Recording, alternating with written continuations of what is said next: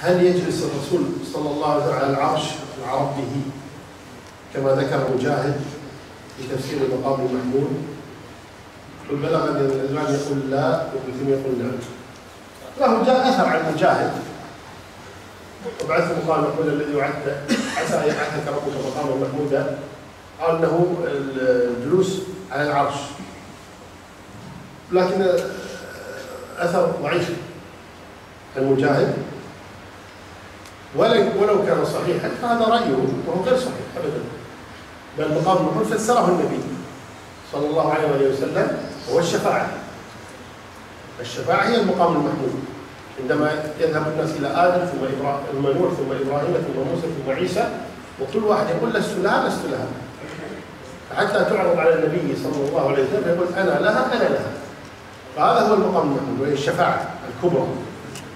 وليس كما نقل عن مجاهد رحمه الله تبارك وتعالى.